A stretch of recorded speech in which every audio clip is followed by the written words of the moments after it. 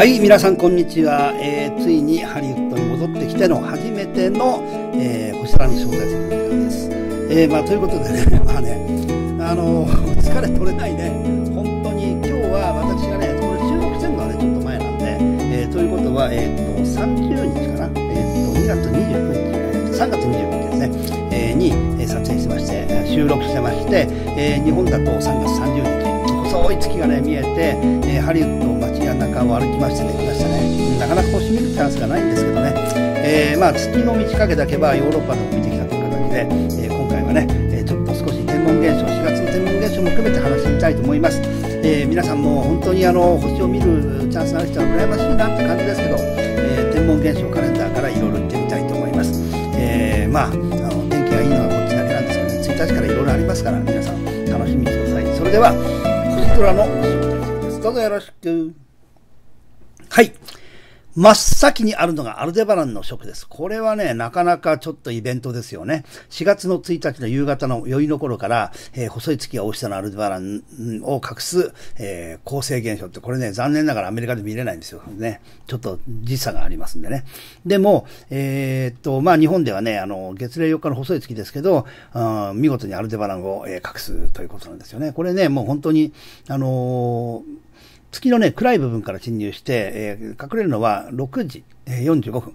明るい縁から出現するのは7時53分となると。これ入るときと出現する時間で、ね、ぴったりね、あの、測ってみるといいと思いますよね。えー、潜入の頃は白明の中での空が暗くなりきってないので、少しあの、アルデバラン見えにくいかもしれないんですけどね。えー、まあ、ちょっとね、月の方はわかるから、そこら辺をね、双眼鏡とか、そういうのね、望遠鏡でもいいですよ。あの、あの、低倍率で見ていただくといいかなと思ってます。これはもうなかなかね、まあ、うん、イベントとしてもね、ねなかなか、あの、アルデバランみたいなね、そういう明るい大きいね、大きいというか明るい星、うん、これがやっぱりね、消えるってなかなかすごいことですから、ぜひそれはね、見てほしいななんて思いますね。はい。えー、まずこれが一つ。さあ、そしてですね、なんかもう変わるかな。うん。あ、ちょっと待ってください。えー、っと、潜入時間とか、やっぱアメリカで見れないんだな残念だなやっぱりね、僕らね、アメリカと日本で見れるようなものがありがたいんですけど、これは残念ながら全く無理ですね。そして続いて、えー、っとね、あ、えー、っとね、タットルジャコビニクレッサーク彗星が7等星前後ってことなんですよ。だからこれはね、7等星前後って双眼鏡、または小さな望遠鏡で見れますんで、ぜひ見てほしいなっていう感じがしますね。えー、っと、これはね、うーんと、どこら辺に行くんだろう。うん、ジョンソン彗星と近づくということですけど、双眼鏡で観測しましょう。ということですね。えっ、ー、と、これは、えっ、ー、と、これなんだろうな、国間座、奥間座、えー、いわゆる簡単に言うと北の方を通るので、一晩中見えるんじゃないかな。はい、そんな感じです。で、水星が、えっ、と、東方最大理覚っていうのが1日。これもね、マイナス0.1等というね、あの、明るいことは明るいんですけど、まあ、いかんせ最大理覚になったとしても、もう白明網の方ですからね。残念ですよ。はい、まあ、見れるかな。うん、頑張ってみましょう。うん。さあ、そして、えっ、と、木星が乙女座で小となります。マイナス2.5と、これはもう観測の最高の時ですね。えー、これは8日。うん。あの、月齢11日のその8日です。木星はもう月の明るさ関係ありませんからいいですね。えっ、と、星夜写真としては、えっ、と、10日の月と木星が接近するとかいいんじゃないかな、なんていう感じがしまして、10日11日に対して接近します。えー、その後はあまりね、大したあれはないんですが、えー、17日月齢20日の月と土星が接近します。んで、これはね、あの、結構あの、まあ、あの、見やすいんじゃないかなってことでね、えー、または22日、一気に遠くに飛びますけど、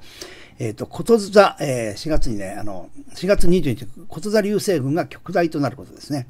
えー、1時間あたり5個ぐらいということの出現予想なんで、あんまり明るくないですけど、まあ、あの、多くはないんですけどね、一応流星群であることだけは確かです。それ以外はあまりね、そうですね、特にないかな。でもこれだけあればいいですよね。はい。ということで、えっ、ー、と、4月は、えー、まあ、いわゆるアルデバラン前半の方に、えっ、ー、と、いろいろ固まっているという形でしょうかね。あと、木星がいいって感じでしょう。はい。さあ、続いて天文ニュース行ってみましょう。えー、っとね、うん。さて何がいいかな。いっぱいあるんですけどね。あの、あ、ユーロパ計画のこの話やりましょうかね。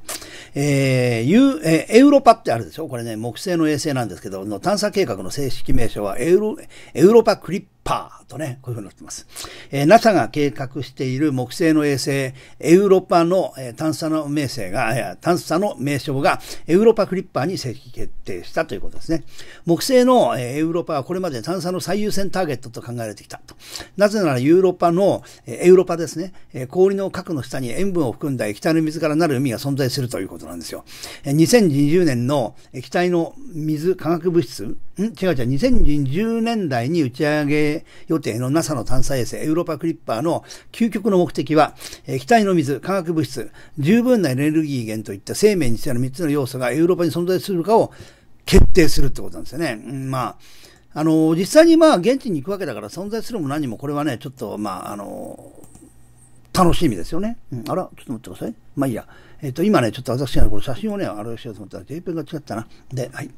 で、えっ、ー、と、クリッパーの名称は高速で見渡る17世、19世紀の大型補船に由来していると。えー、私が乗ったピースボートの船もクリッパーパシフィックっていうのがありまして、え穴が開いて沈みそうになりましたけど、まあ、それはいいでしょうね。3本のマストを備えた流線形の高速大型補船は、その優美さと速さで有名で、え大西洋の行き来をしてアメリカとヨーロッパ間の様々な物品を送っていたということなんですね。えー、高速大型補船の偉大なる、伝統を受け継ぎ、えー、探査機、うん、エウロッパクリッパー、うん、は、エウロッパに週、えー、2週間ごとに接近してやるということなんですよね。うん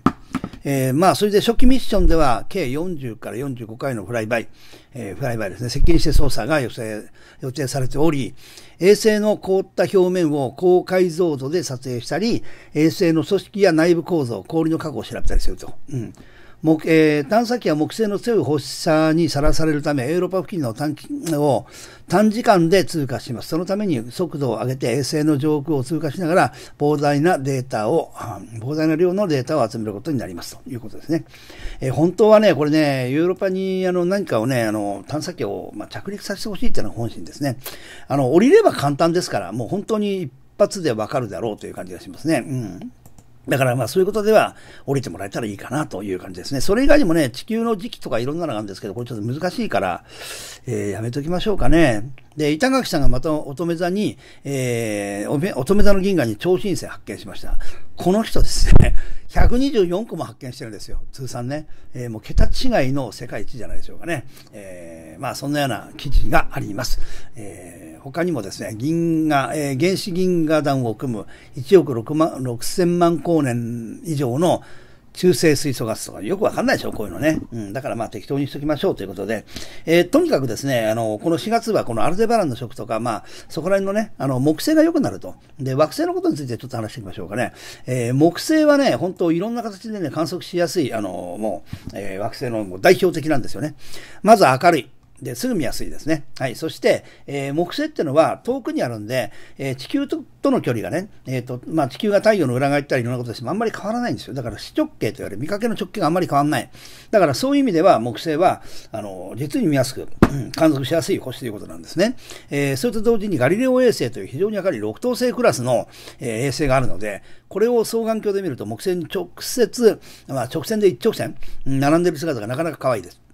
土星にもタイタンっていう、チタンっていうね、えー、衛星があるんですけど、これだとね、ちょっとね、少し暗いのと、1個しかないですから、このガリレオ星の位置だけ見てても面白いと。で、プラスアルファで、やっぱりその木星は、ちょっと倍率を上げると、えー、まあ、いわゆる縞模様が見えたり、えー、ちょっと暗くなってますが、大星圏が見えたり、まあ、まさにこれはもう見やすいものとしては代表ですね。だから木星の観測っていうのは非常に、えー、まあ、あの、価値のあるもんだと思っていいんじゃないですかね。ちょっと木星の写真でもちょっと一つ、アップしておきましょうかね。はい。これ木星の写真です。一応アップしておきます。はい。アップしました。はい。えー、そんなわけで、えっ、ー、と、木星観測は、えー、そうだな。でもやっぱりどんなこと言ってもガリレオ衛星だったら双眼鏡でいいです。ガリレオ衛星を観望しようとかね、えー、位置をはっきり、まあ、はっきりとね、観測しようって言うんだったら双眼鏡でいい。それこそ、えー、8センチぐらいの屈折、まあ、10センチ以上、うん、本当は15センチ、20センチの反射があれば、非常にもう、あの、面白い、見やすい、あの、天体なんで、お勧めしたいですけど、あの、機械を作ってね、今ね、望遠鏡も安いじゃないですか。ね。あの、正直言って20センチクラスだったら結構安く買えるし、あの、ミードとか、えー、っと、メーカーによってはね、なかなか、あの、簡単にね、いいものが手に入るようになってますんでね、セレストミードなんていいと思いますよね。そういうことを考えたら、うん。なんかの機会に購入を考えてもいいんじゃないかなと思いますね。製品情報かなんかもね、アストラアス社さんには出てますので、えっ、ー、と、何がいいか。まあ、いろいろあります。ショップもありますね。うん。はい。天体望遠鏡っていうとね、やっぱりね、すごく大げさな気がしちゃいますけど、決してそういうことはありません。やっぱり、実際に望遠鏡で見る星って全然桁が違うから、本当に見てほしいなっていう気がしますね。えー、私もね、ただね、自作で組み立てるとかそういうね、安いやつやるとかこれはやめた方がいいです。全く意味がないんで、やっぱりやるんだったら、ちゃんとしっかりしたものを。